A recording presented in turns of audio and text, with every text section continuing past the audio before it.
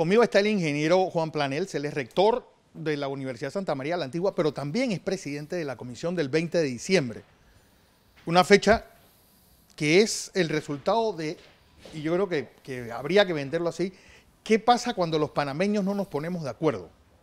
Pues pasó en 1968, se repite en 1989 y don Juan, seguimos sin saber, yo creo que hacer una especie de acto de contrición y una especie de catarsis nacional de lo que fue esa fecha. Bienvenido. Muchas gracias, Fernando. Eh, sí, esa es la idea con la creación de la comisión, investigar los hechos y en ese trabajo estamos, no sin dificultades como te podrás imaginar. Han pasado 28 años, mañana se cumplen, y eh, hay muchos documentos que hay que rescatar, muchos testigos que ya ni siquiera están entre nosotros pero el trabajo se está haciendo, yo me siento muy satisfecho a pesar de las demoras. La primera, como te imaginas... El presupuesto. El presupuesto. Un año demoró eh, Contraloría en aprobar todos los trámites que se hicieron para tener eh, la mitad del presupuesto que nos asignaron. Es que es una fecha donde al día de hoy no tenemos seguro ni siquiera cuántas personas murieron. Eso es correcto. Y hay listas que no están validadas por documentos que hay que revisar. Y claro, al no haber información oficial confiable, están las leyendas urbanas de la cantidad de fallecidos. Bueno, que van desde 500 hasta 10.000. Hasta 10.000, ¿no? Realmente, nosotros tenemos en la página web que mantenemos un listado inicial con los nombres de aquellos que han sido denunciados como desaparecidos. Correcto. Y hemos estado agregando, porque sí hemos encontrado otros nombres que no estaban en las listas originales. En esas listas eh, nosotros tratamos de encontrar y hacer acá, para cada uno un expediente. Claro. Lo primero que hicimos es revisar todos eh, los expedientes del órgano judicial, donde hay demandas. Hemos revisado eh, casi 10.000 expedientes no solo en Panamá, sino también en los otros circuitos. porque lo cierto es que tres cuartas partes de esta investigación hay que hacerse en Washington, no en Panamá. Bueno, esa es la parte que esperamos que los Estados Unidos eh, colaboren como han prometido hacer eh, con la información que nosotros vamos a requerir para completarla, ¿no? Eh, y eso es parte del trabajo nuestro Hemos recibido toda clase de seguridades de que van a colaborar, pero todavía no ha habido nada concreto porque no hemos hecho una solicitud oficial. Y lo cierto es que del 20 de diciembre se puede decir que es la culminación de un proceso o un despropósito político que se inicia en 1987. Es decir, el tiempo de, investigación tomará los dos años anteriores al 20, al 89. Eh, eh, nosotros no estamos entrando en lo que son las causas de la invasión, sino en los efectos. Y eh, en ese sentido estamos recuperando toda la información disponible. Efectivamente, el 20 marca un cambio en Panamá, hay un antes y un después. Y las consecuencias no son solo en el orden político, sino económico, social, y eso pues está siendo estudiado. Con investigaciones rigurosas, bien fundamentadas, método científico, de modo que haya confianza en el resultado, que es lo que ha faltado en todos estos años. ¿Hay alguna investigación parangonable a la que están haciendo ustedes? Por ejemplo, de una comisión de la verdad eh, en un hecho traumático como este. Porque...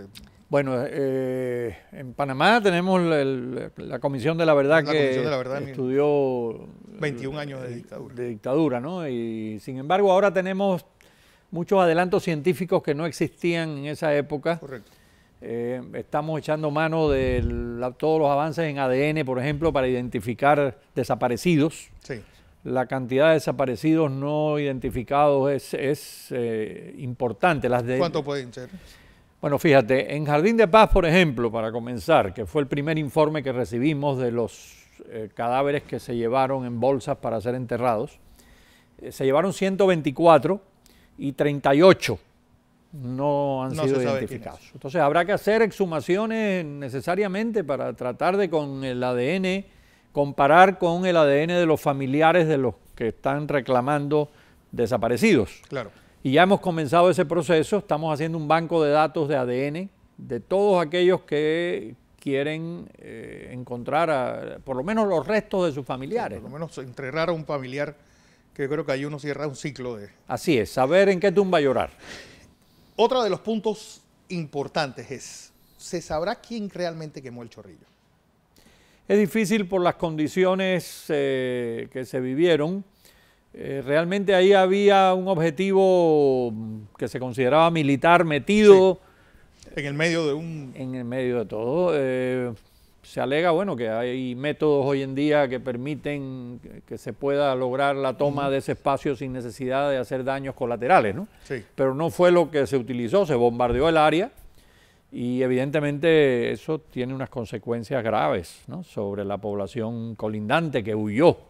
Nosotros estamos analizando el caso de una chica de, imagínate, 16 años, fue a celebrar ese- esa noche la festividad del cumpleaños de su madre en Caledonia, huyó eh, y eh, no se sabe, la madre no sabe dónde... Más nunca la volvió a Ha estado, estuvo todos esos días posteriores, te podrás imaginar la tragedia, revisando cadáveres y todavía está pendiente de ver eh, dónde están los restos de su hija. ¿no? Entonces ese, eso para nosotros es como un compromiso prioritario.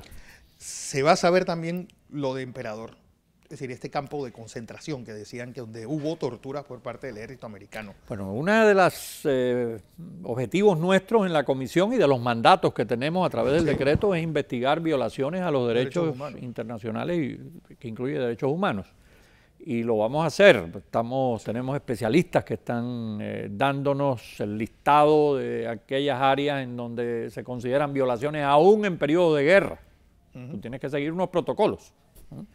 Y donde hay violaciones, pues nosotros vamos a hacer la denuncia sin duda alguna. eh, Y estoy seguro que vamos a, en fin, conseguir el apoyo, porque nuestra misión, más que el resultado final del informe, eh, que, que, evidentemente tiene una enorme importancia, es que se conozca el proceso eh, y a través de eso se, se, se concien- se con- se conciencia a la población ¿no? Sí. de, de la gravedad de los hechos.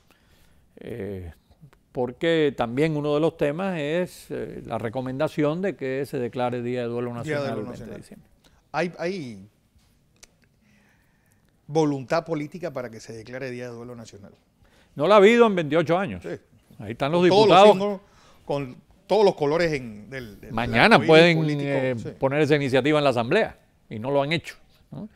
Eh, hay todo un manto, un acuerdo no escrito, eh, no hacer ola en ese tema, ¿no? que puede traer dificultades, algunos exageran eh, y piensan en una posición de Estados Unidos de no colaborar para que se conozca la verdad. Eh, nosotros no estamos eh, condicionados por eso, de modo que vamos a hacer nuestra investigación independiente y vamos a revelar los hechos. Sí, sí. Los panameños somos expertos pasando un tupido velo al pasado. Lo hicimos en Eh, el 3, después sí. de la guerra de los mil días. Sí. Lo hicimos en la crisis de los 40 y 50. Lo ¿Recuerdas? en el 68. Sí, que está en, la en las estrofas de nuestro himno. Un velo sobre el El Calvario y la cruz. cruz. Es que aquí ni siquiera sabemos la magnitud del Calvario. Claro. ¿no? Entonces yo creo que sí vale la pena conocerlo, formar. Una de las demandas mayores que hemos tenido es de la gente que quiere, de los jóvenes que quieren conocer qué pasó, que eso forme parte de nuestra historia. De modo que nuestra identidad quede reforzada por esos hechos que marcaron un antes y un ¿cómo después. se puede hacer solamente sobre ese hecho? Porque ese hecho es consecuencia de, bueno, incluso de la coyuntura mundial, que era una guerra fría. Eso es cierto, ¿no? Es- Eso es cierto y, y tendrán que sacar las conclusiones los panameños sobre ese vínculo, esa relación y cada uno tendrá su versión. Nosotros no quisiéramos dividir a los panameños en un hecho que realmente nos enfrenta a eh, el país más poderoso del mundo. Claro. Eh, muchos asesores inicialmente nos hablaban de situaciones similares en otros países, pero generalmente eran enfrentamientos internos, sí, eran guerras civiles. ¿no? guerras civiles. ¿no? Este no, este es, Es una guerra entre dos países. entre dos países.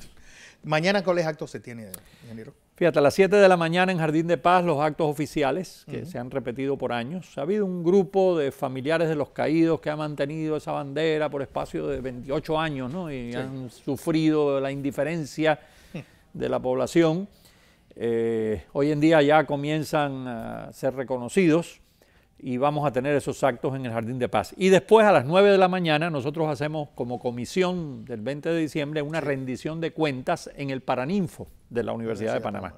Va a hablar el rector Flores, va a hablar eh, la representante del grupo de los caídos, Trinidad Ayola, eh, que, que están organizados, y vamos a presentar todos los avances de la comisión que a pesar de todos los obstáculos hemos contado con mucho voluntariado de jóvenes de las universidades.